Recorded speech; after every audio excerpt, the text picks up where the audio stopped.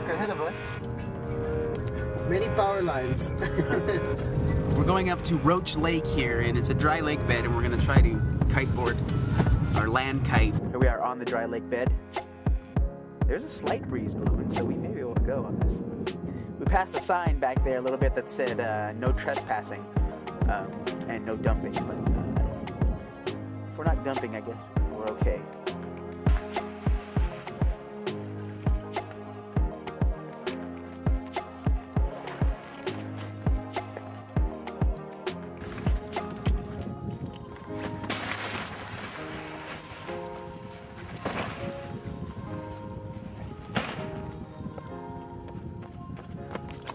Here's Michael getting ready for uh, land kiting. He's got gloves and knee pads. The wind is kind of blowing, but that's all right. Even if we don't get the wind, we can always jump on the train. Wave your hand.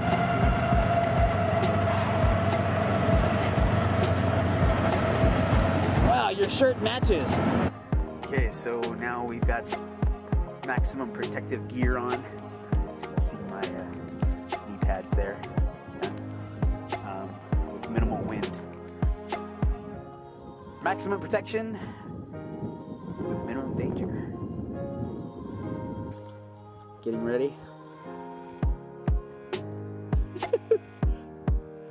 That's a good yellow shirt, man.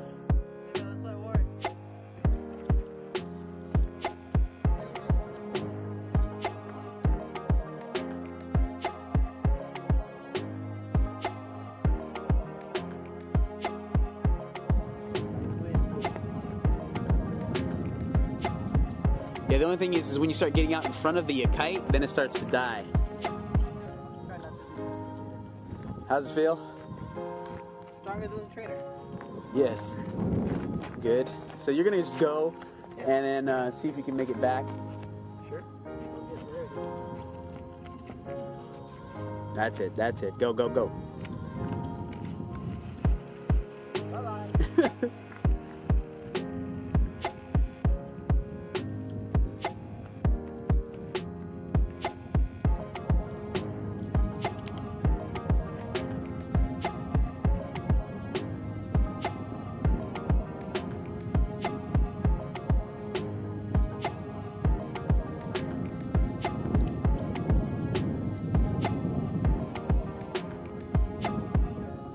Exciting, but um, there it is.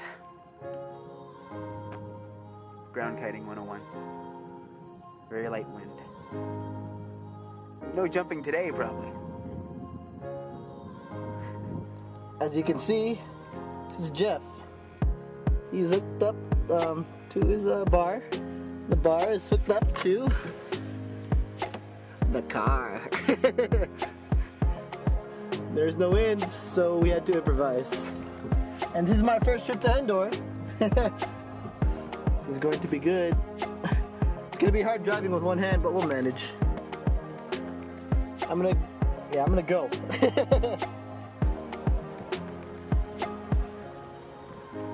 I'm gonna focus on driving. There's Michael now.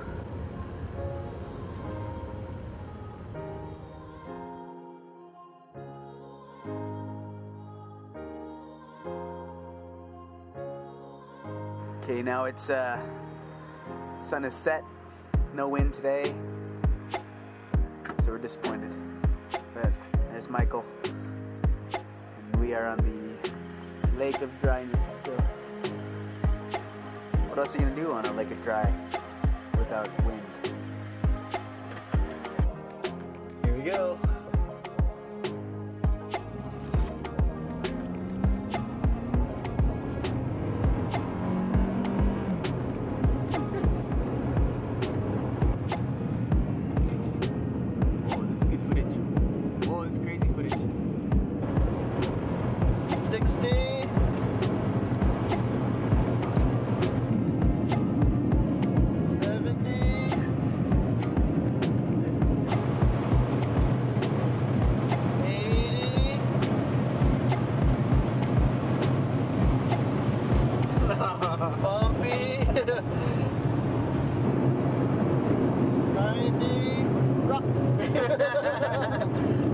Uh, too short. Uh, Uh, well, there's our trail of dust right there. Eat my dust! it tastes good.